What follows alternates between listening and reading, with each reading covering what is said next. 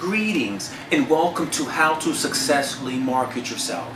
This course material will go over talking about confidence, doing your homework, challenges, making the connections, not another portfolio, and the closing.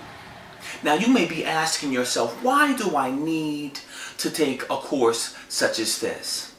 So many people in our culture they go to college, they get the degrees, they got the certifications.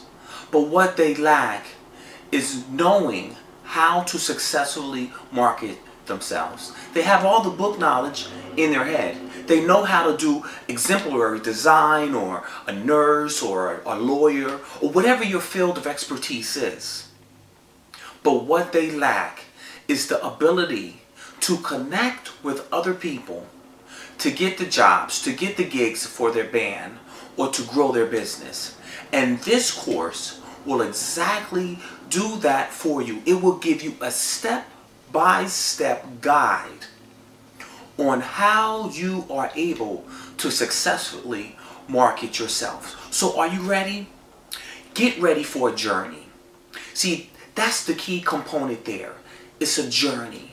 You are about to go on a journey in this course material that will change your life. So are you ready?